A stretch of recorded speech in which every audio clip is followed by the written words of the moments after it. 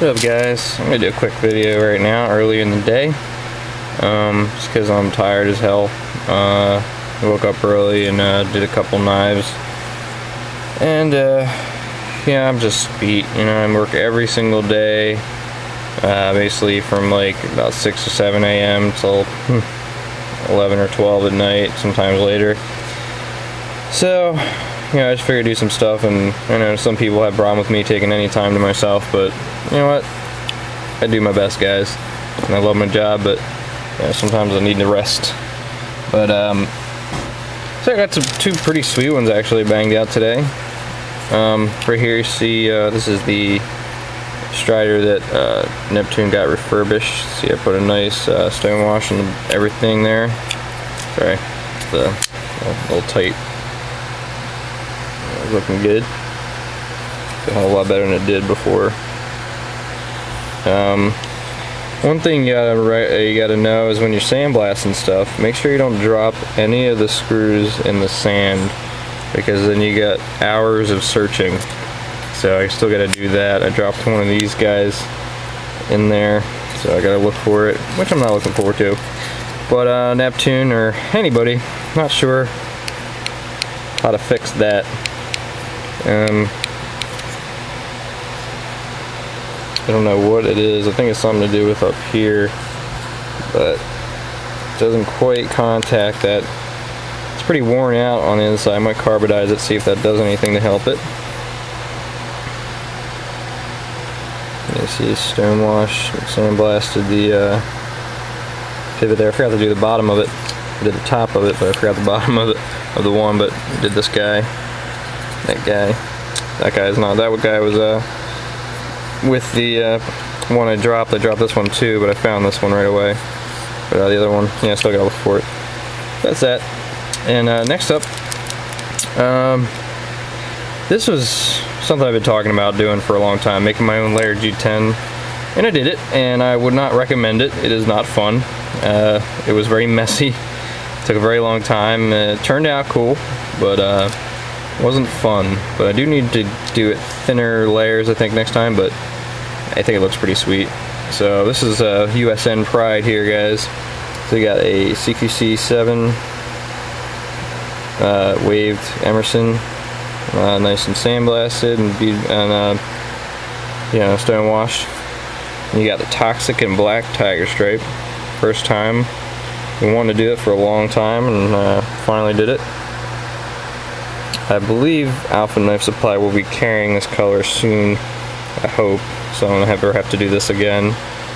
Um, you see it's uh, about five layers, um, three green and two black. That was a pain in the ass, but it turned out pretty sweet. Blade's nice and centered. This thing looked like shit when I got it, sure. Uh, but you know the lockup is you know it's where it was. I mean, I try my best to make it a little better. I mean, it's not too far over or anything like that, so there's no play play or anything. But, uh, you know, older Emersons tend to, you know, have some lock bars that travel a little bit. But Toxic Green looks pretty sweet. And luckily I got some daylight coming in here, so you can get a good look at the color.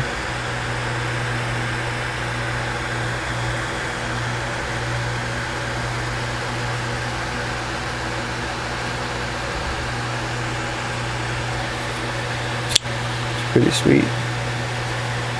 And Will, this is for your brother, I think. And uh, yeah, surprised it worked out. It looks pretty sweet. It's definitely very USN. Kept the pocket clip black, uh, just because it fits it. And the hardware is black too. I think I'm gonna put a black uh, thumb screw, thumb stud there. I just think, I think it'll tie it together a little nicer. Maybe the green, uh, maybe black with a really thin piece of green on top of it.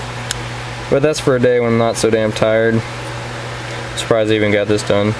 And next up we got a Boker Haddock by the man himself, Jens Anso.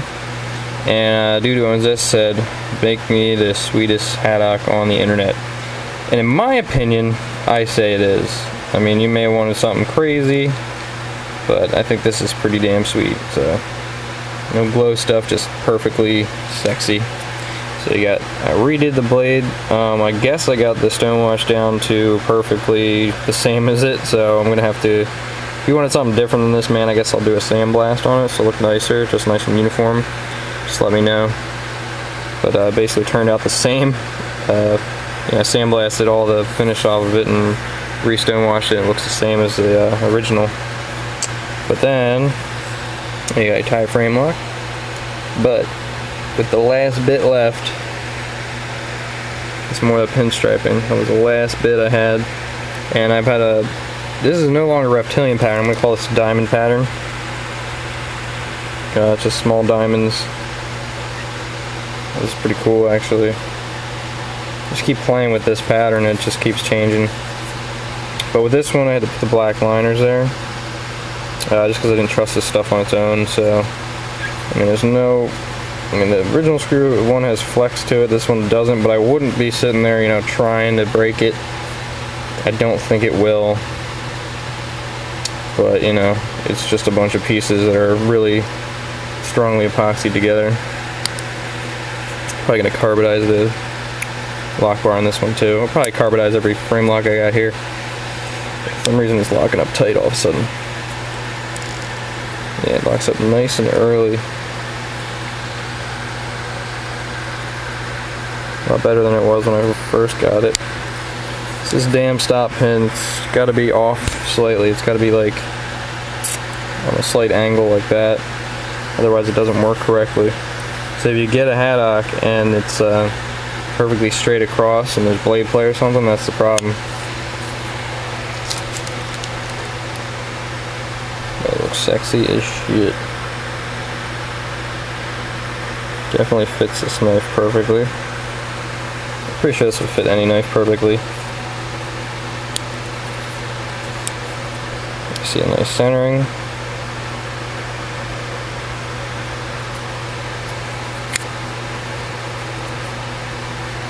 It's got that dangerous choil there.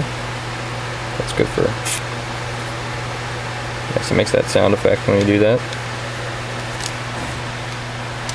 But I am loving, loving this shit.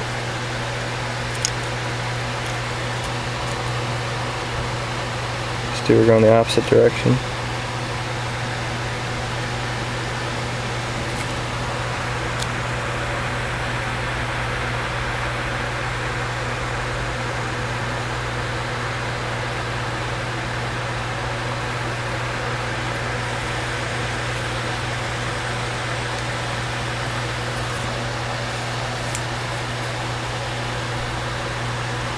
Get that guy.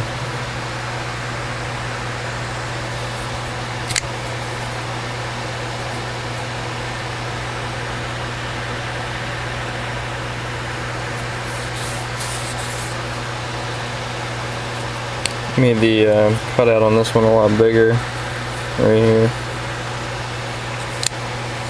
That was a part of a mistake I made on there.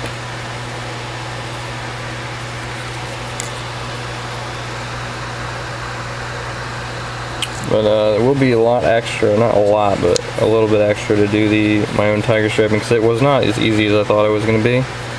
Um, it'd probably be easier if I actually line the pieces up correctly instead of just kind of chucking them in a freaking bin with a wad of glue. Well, epoxy stuff, so. There you go. It's a sweet pattern. Love it. It's nice and rounded. Give more of a feel, a better feel to this knife because it's you know it's kind of square. But uh, the original scales on this thing are kind of interesting. Usually they're just black. I don't know why, but these are like like a black and gray tiger stripe. Almost micarta looking. It's pretty cool. It's like pre-pimped. And by the way guys, you've done your original scales from Anso's and you have something like this going here, there is no way I can measure that and get it right without putting that little tiny hole there. I can fill it in, make it look fine, but really don't notice it. So if you give a shit, I mean, I will fill it, but anywho, who cares? This, the scale looks so much better anyway. That's that cool shit at the top there, just the way it just kind of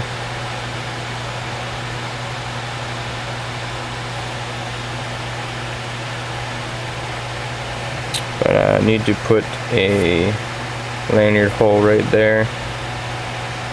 Kind of looks good without it, but you know, you don't really need it on this side. Going through this whole thing is kind of weird, but you know. That's the sexy haddock there. Nice early lockup. It's nice and solid too. I thought it wouldn't be, but it really is. Alright guys, thanks for watching. I'm to play Battlefield Bad Company, or Battlefield 3 Beta later.